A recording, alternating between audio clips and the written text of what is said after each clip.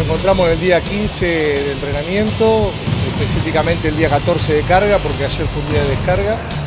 eh, ajustando algunos detalles, tratando ya de meternos en situaciones específicas que sean de fácil asimilación y de una este, utilidad eh, casi inmediata de lo que se hace en la preparación. Y satisfecho con el grupo de trabajo, creo que hemos dado un salto de superación con respecto a las eh, preparaciones anteriores por la estructura del armado y por la infraestructura que disponemos este, aquí en el Senado.